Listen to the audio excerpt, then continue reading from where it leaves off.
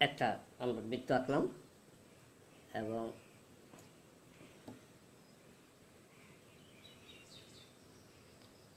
X O, X X O এটাকে আমরা ও ধরলাম, এক্স ও এবং ওয়াই ও, ওয়াই অক্ষ এবং আমরা এখানে এটার উপর একটা দেখলাম, এম এদিকে চিহ্নিত করলাম পি এবং এখানে এটা ঝেট যদি আমরা চিহ্নিত করলাম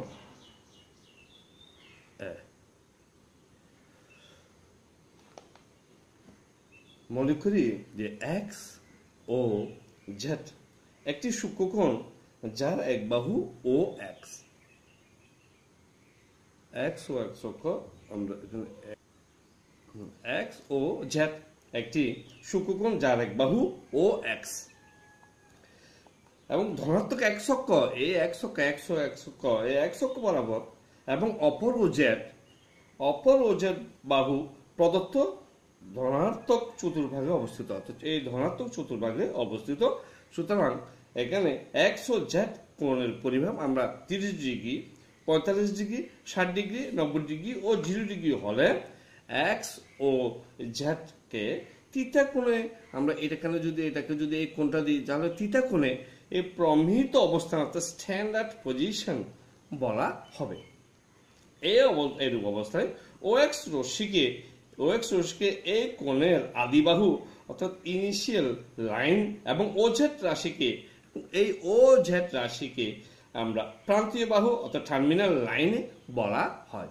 অর্থাৎ ওজেডকে আমরা টার্মিনাল লাইন বাহু বা প্রান্তীয় বাহু হিসেবে চিহ্নিত করি। এখন এই মূল বিন্দু যে ও এই ওকে কেন্দ্র করে ওয়ান একক ব্যাসার্ধ নিয়ে, শুধু ব্যাসার্ধ আমরা কি? এক একক আমরা ব্যাসার্ধ নেব। অর্থাৎ ব্যাসার্ধ নিয়ে একটি বৃত্ত অঙ্কন করলাম। আমরা এখানে একটা বৃত্ত অঙ্কন করলাম এবং এই অঙ্কিত বৃত্ত ও এক্স রশ্মিকে এ বিন্দুতে, এ এ বিন্দুতে ছেদ করল এবং ও ওয়াই এখানে এই ও ওয়াই এই রশ্মিকে বি বিন্দুতে আমরা এখানে এটা দিতে পারি যে এখানে একটা বি বিন্দু দিলাম, তাহলে বি বিন্দুতে এবং ও জেড এই ও জেড রশ্মিকে পি বিন্দুতে ছেদ করল। তাহলে ও এক্স রশ্মিকে এ বিন্দুতে ও ওয়াই রশ্মিকে বি বিন্দুতে এবং ও জেড রশ্মিকে পি বিন্দুতে একটি ঘূর্ণমান বিন্দু বা পি বিন্দুতে ছেদ করে। উল্লেখ্য, এই পি বিন্দুটি, এই পি বিন্দুটি একটি ঘূর্ণায়মান বিন্দু। সুতরাং আমরা যদি এখানে দেখি যে পিএম তাহলে এই পি পিএম এটা এই পি এম পি এম লম্ব, তাহলে ও এক্স তাহলে পিএম কিসের উপর লম্ব? ও এক্সের উপর লম্ব। তাহলে মনে করি এই পি এর স্থানাঙ্কটা, তাহলে কত হতে পারে? তাহলে পি এর স্থানাঙ্ক পি এর স্থানাঙ্ক পি এর স্থানাঙ্ক আমরা ধরলাম এক্স ওয়াই তাহলে পি ও এম এই সমগ্র তাহলে এটা একটা কোণ, এটা উৎপন্ন হলো থিটা কোণ।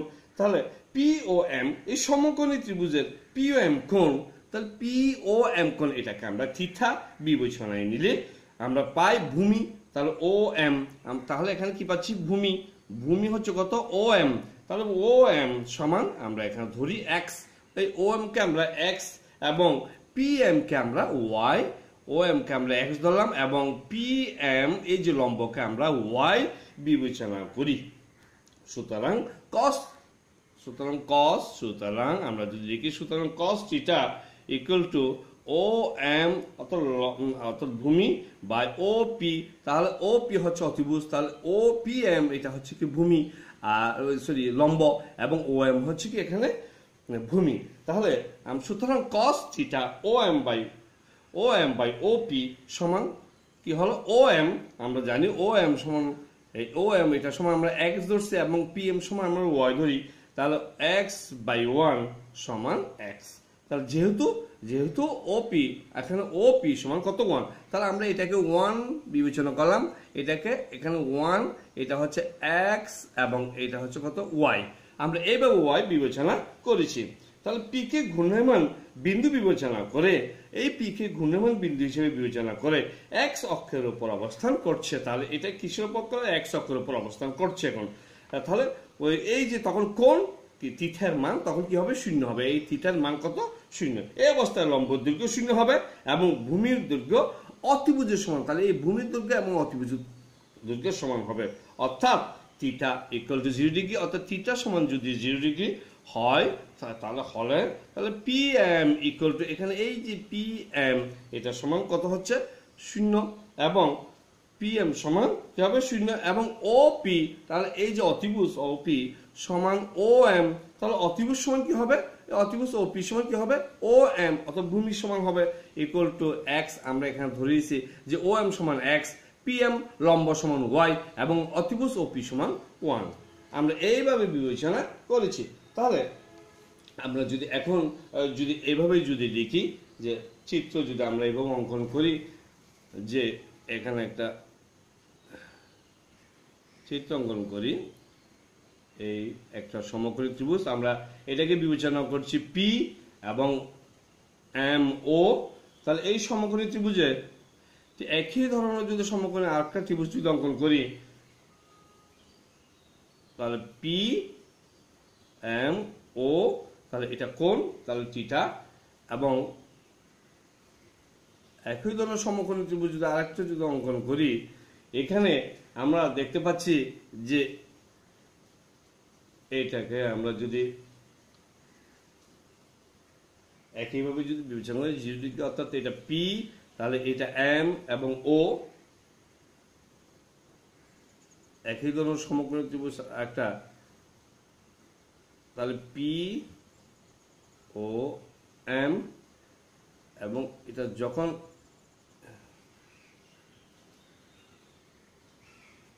তাহলে পি এম ও অর্থাৎ এখানে আমরা এইভাবে বিবেচনা করতে অত শূন্য অত জিরো ডিগ্রি খুব কাছাকাছি যদি অবস্থিত হয়, তাহলে এই ও পি এবং ও এম এই জিরো ডিগ্রি খুব কাছাকাছি যদি অবস্থিত হয়, তাহলে এখানে এই ও পিটা এই ও এন এর সাথে একসাথে মিশে যাচ্ছে এখানে। এভাবে একসাথে যদি মিশে যায়, তখন অত থিটা কোণটি জিরো ডিগ্রি খুব নিকটে আসলে, তাহলে পিএম রেখার দৈর্ঘ্য শূন্য কোটায় নেমে আসে এবং এই ক্ষেত্রে সাইন থিটা অর্থাৎ আমরা যে সাইন থিটা পাই, এই সাইন থিটার মান প্রায় শূন্য হয়ে যায়। অর্থাৎ, এখানে যদি আমরা যদি বিবেচনা করি এভাবে, সুতরাং সুতরাং কস সুতরাং কস জিরো ডিগ্রি অর্থাৎ কস জিরো ডিগ্রি যদি হয়, তাহলে আমরা লিখতে পারি O M O M by তাহলে O M by O P অর্থাৎ ভূমি ও এম ভূমি বাই অতিভুজ তাহলে ভূমি বাই অতিভুজ আমরা এখানে দেখতে পাচ্ছি। আমরা লিখেছিলাম এখানে এক্স তাহলে তাহলে অথ x by x equal to কত হবে? ওয়ান অর্থাৎ এটাকে আমরা পাই কি? Cos zero degree equal to one cos zero degree equal to one এবং আবার sine sine zero degree sine zero degree যখন হবে তখন এটা পি এম পি এম অর্থাৎ এই লম্ব বাই অতিভুজ O P P M by O P সমান তাহলে কি হবে?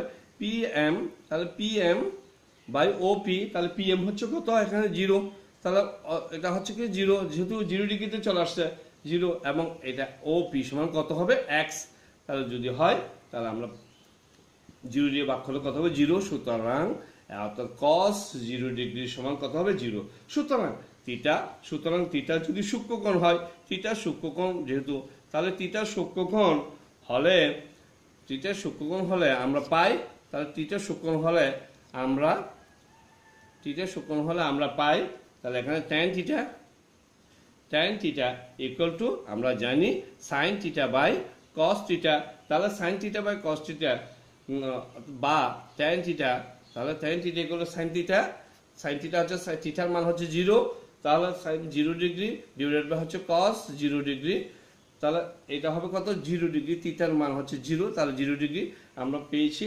এখানে সাইন জিরো ডিগ্রি সমান জিরো, আর কস জিরো ডিগ্রি সমান কত? ওয়ান ইকুয়াল টু কত হবে? জিরো।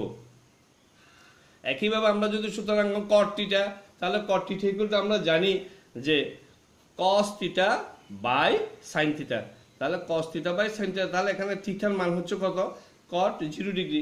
তাহলে জিরো ডিগ্রি যখন হবে, তখন এটা cos zero degree by sine zero degree তাহলে cos zero degree by sine zero degree equal to কত হবে? এখানে cos zero degree equal one sine zero degree equal zero তাহলে এটা কি হবে? অসংজ্ঞায়িত হবে। অর্থাৎ অসংজ্ঞায়িত অসংজ্ঞায়িত হবে। কারণ কি? জিরো দ্বারা ভাগ করা যায় না, বিদায় সংজ্ঞায়িত করা যায় না এগুলোকে। এবং সুতরাং আবার যদি আমরা যদি এরকম যদি sec theta sec theta equal to যদি আমরা নির্ণয় করতে যাই, তাহলে ওয়ান বাই কি হবে কস থিটা আমরা জানি sec theta equal to one by cos theta তাহলে sec zero degree sec zero degree সমান হবে one by cos zero degree তাহলে কস জিরো ডিগ্রি যদি হয়, আমরা এখানে ভাগ করলে one by cos zero degree সমান, আমরা জানি cos zero degree equal to কত? ওয়ান তাহলে one by one equal to one তাহলে স্যাক থিটা অর্থাৎ স্যাক জিরো ডিগ্রি ইকুয়াল কত হবে? ওয়ান এবং একইভাবে, এবং আমরা যদি কোসেক এবং আমরা যদি কোসেক থিটাতে যদি যাই, তাহলে cosec cosec theta equal to আমরা জানি ওয়ান বাই সাইন থিটা তাহলে সাইন থিটা তাহলে এখন কোসেক থিটার মান যদি জিরো ডিগ্রি হয়, তাহলে cosec cosec zero degree equal to one by sine zero degree তাহলে one by sine one sine zero degree সমান কত? আমরা পেয়েছিলাম সাইন জিরো ডিগ্রি সমান সরি এখানে এটা সাইন এটা সাইন জিরো ডিগ্রি হবে, এটা sine sine sine zero degree এটা সাইন জিরো ইকুয়াল টু কত? ওয়ান বাই জিরো তাহলে one by zero equal to অসংজ্ঞায়িত। এইটা অসংজ্ঞায়িত হবে। কারণ আমরা জানি যে জিরো দ্বারা ভাগ করা যায় না, তাই সংজ্ঞায়িত করা যায় না। শূন্য দিয়ে আমরা ভাগ করতে পারি না। ওই জন্য এটাকে সংজ্ঞায়িত করা যায় না।